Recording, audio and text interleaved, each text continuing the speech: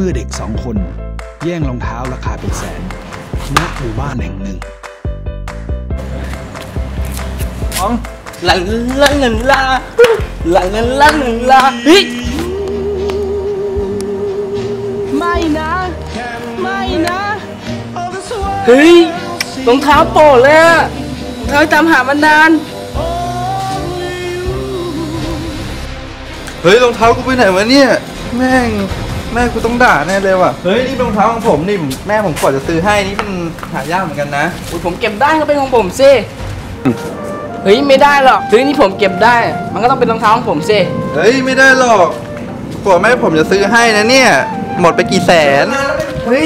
เสียดายว่ะรองเท้ารุ่นใหม่ที่เราอยากได้มานานแล้วเนี่ย ไม่ได้หรอก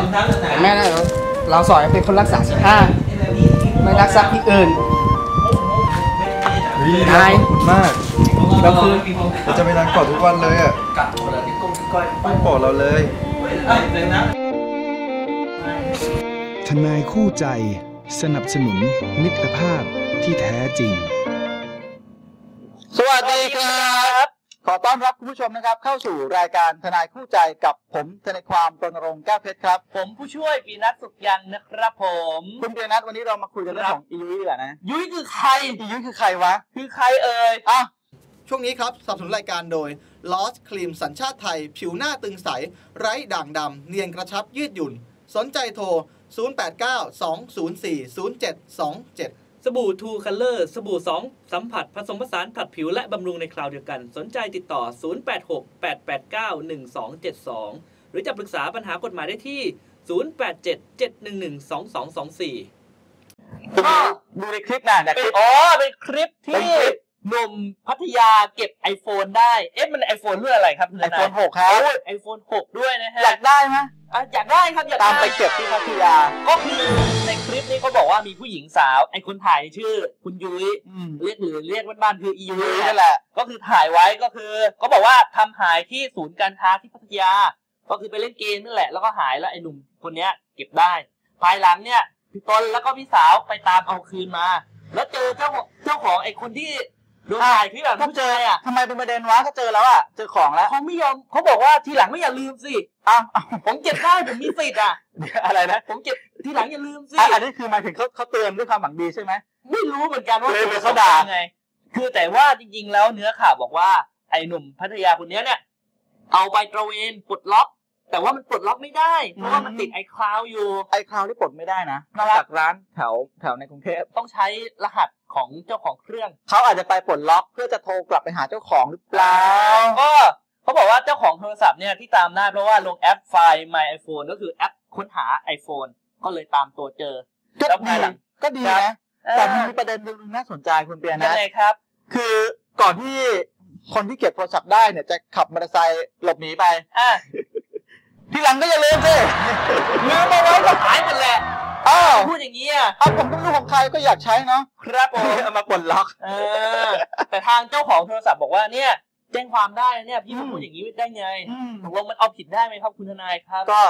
พี่ใช้พี่ใช้โทรศัพท์อะไรอยู่ อ้าวพี่ใช้ไอโฟนสี่หรือไอโฟนหกพี่ก็อยากได้สิเออนี่ผมไม่ได้อยากได้เลยทีหลังก็อย่าลืมสิคุทีณหลังอย่าลืม เออ เรื่องนี้นะครับคุณผู้ชมการเก็บทรัพย์สิน เก็บโทรศัพท์เก็บกระเป๋าเงินของใครได้ก็ตามนะครับ อย่าครับเอาผมไปใช้เองนะครับ อืมมันเป็นความผิดฐานยักยอกทรัพย์ อ้าวซึ่งมีอัตราโทษจำคุก 3 ปี ครับ ปรับไม่เกิน 6,000 บาท หรือทั้งจำทั้งปรับ โอ้โห หมายความว่าเอามาใช้เองเลยไม่ได้ ไม่ได้ ไม่ใช่ว่า เอ้ย เราโอ้ยโชคดีจังวันนี้เก็บของได้ โอ้โหลาบปากแล้วไม่ใช่สิ สุจริตชนเขาไม่ทำกันมันต้องมีรับปรับแล้วแล้วก็ถ้าเกิดว่าเจ้าของนะคุณเจนัทครับผมเขายังติดตามเอาโทรศัพท์เอาอ่าตังค์คืนอยู่เนี่ยครับ คุณจะโดนก็หารักทรัพย์ด้วยนะโอ้ต่างกันตรงไหนรู้ไหมยังไงครับแต่ยักยอกทรัพย์เนี่ย ผมเอาของคืนคุณไปคุณอาจจะยอมความกับผมที่โรงพักได้อืมแต่ข้อหารักทรัพย์เนี่ยเป็นความผิดอาญาแผ่นดินอืมยอมความไม่ได้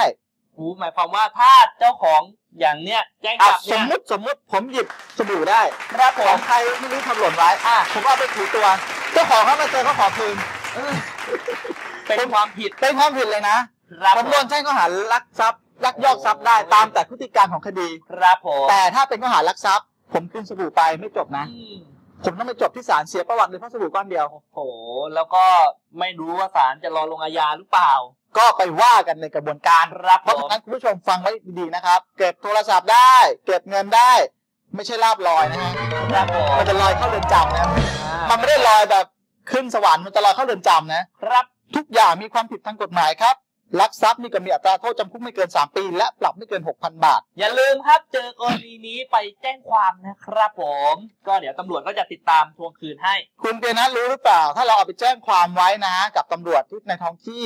เมื่อระยะเวลาผ่านไปครบหนึ่งปี ไม่มีเจ้าของมาติดตามเอาคืนครับเราในฐานะผู้แจ้งมีสิทธิ์ได้ทรัพย์สินตัวนั้นอ๋อก็คือทำให้มันถูกต้องตามกฎหมายเป็นตามพลเมืองอ่าดีหน่อยตามประมวลกฎหมายแพ่งพาณิชย์มาตราที่ 1325 ครับผมแต่จะมีของบางอย่างที่ครอบครองไม่ได้ก็มีนะ อะไรครับ เช่นยาเสพติดอ๋อบุหรี่กัญชาอะไรพวกผิดเนี้ยกฎหมายอยู่แล้ว อ่า